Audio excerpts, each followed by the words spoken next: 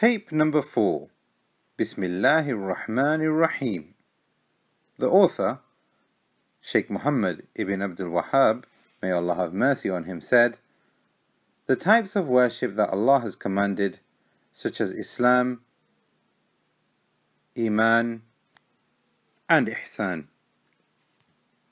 And other types of worship, such as supplication, dua, fear, khawf, hope, raja, reliance, tawakkul, longing, rugba, dreading, rahba, and submissiveness, khushu', awe, khashya, repentance, inaba, seeking assistance, isti'ana, seeking refuge, isti'adha, asking for help, istighatha, slaughtering, dhabh, taking oaths, nadhar, and all of the other types of worship that Allah commanded. All of these belong to Allah alone. The proof for this is Allah saying, The places of worship belong to Allah, so do not call unto anyone along with Him. So whoever directs any part of these acts of worship to other than Allah, then he is a polytheist, disbeliever.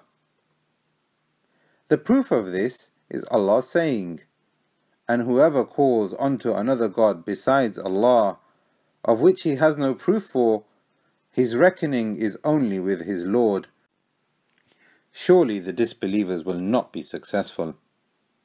Chapter number 23 verse number 117. Also, the hadith, dua is the core of worship. The proof is the saying of Allah, Your Lord said, Call upon me and I will respond to you. Those who scorn my worship will surely enter hell in humiliation. Chapter number 40, verse number 60. Explanation by Sheikh Haytham ibn Muhammad Sarhan. May Allah preserve him. There are many different types of worship, and the author did not mention salah, zakah, or fasting. This is because shirk often occurs in the types of worship that he mentioned.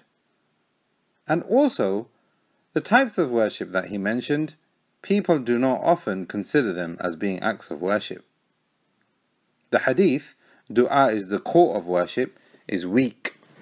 However, a more authentic hadith is Dua is worship. How is dua worship? Allah said in the following ayah, Your Lord has said to supplicate to me, I will respond to you. Those who arrogantly reject my worship will enter the fire with those who enter it. So here, Allah connected between supplicate, dua, and worship therefore making dua to other than Allah a form of shirk. Supplication is divided into two types. Number one, supplication of worship. It is an indirect supplication, such as prayer, fasting, and Hajj. Directing it to other than Allah is major shirk. Number two, supplication for a need. It is a direct supplication, such as saying, Cure me, ease my affair, etc. This requires further explanation.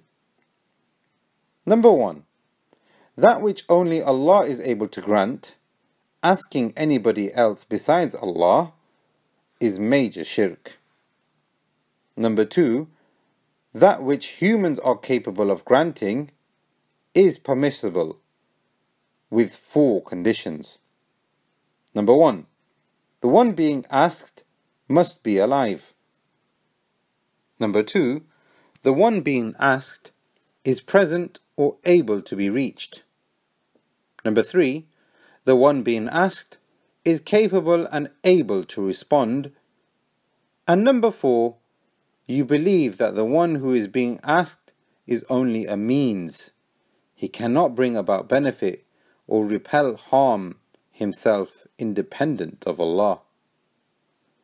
As for the one who believes that the one whom he is asking is able to bring about benefit himself or repel harm in of himself, then this is shirk. People are divided into three groups with respect to their beliefs regarding the means. The first group believe that only what Allah has made a means can be as a means. This is correct. The second group believe in and use means which Allah has not made a means, such as amulets. This is minor shirk. The third group believe that the means themselves have an effect. They bring about benefit or they repel harm. This is major shirk. How do we know a particular matter is a valid means which we can utilize? Answer Either it is legislated in Islam, such as ruqya, which is used to cure illnesses or it is something which is scientifically proven or known by experience, such as medicine.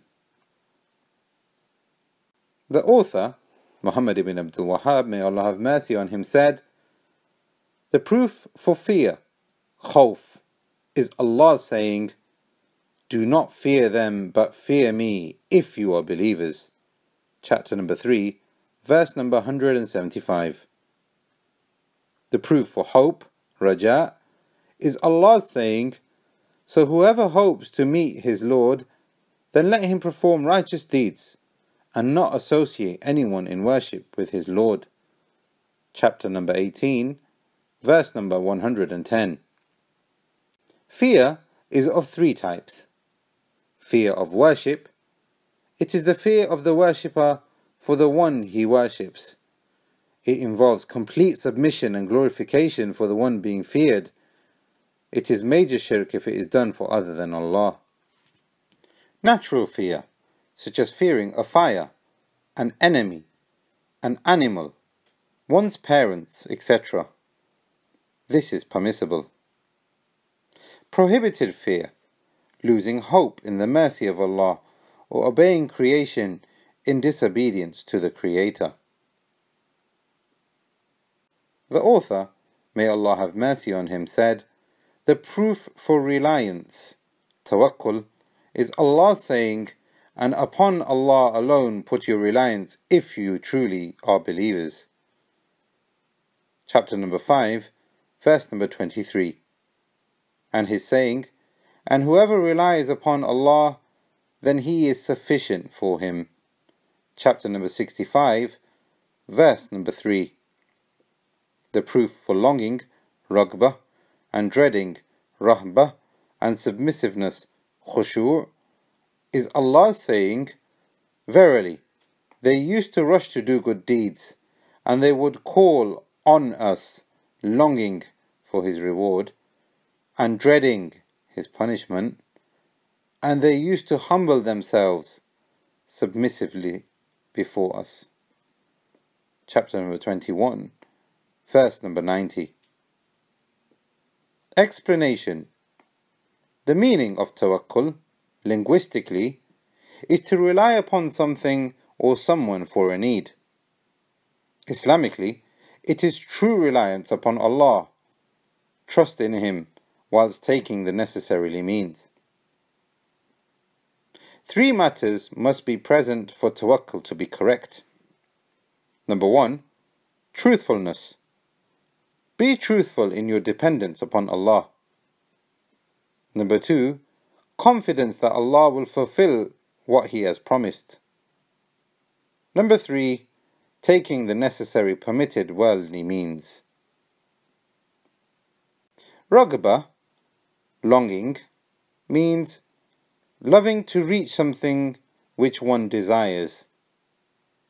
Rahba, dreading, a fear which leads one to flee from the object he or she fears.